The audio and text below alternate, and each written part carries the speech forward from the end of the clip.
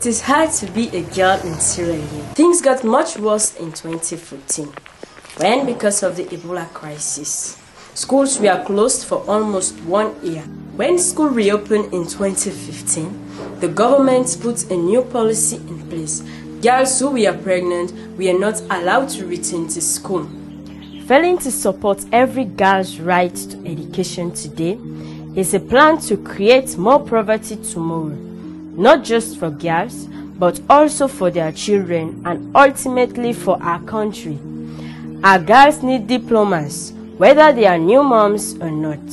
Some like me, we are motivated to work hard and be educated because we see our mothers, they didn't have that opportunity.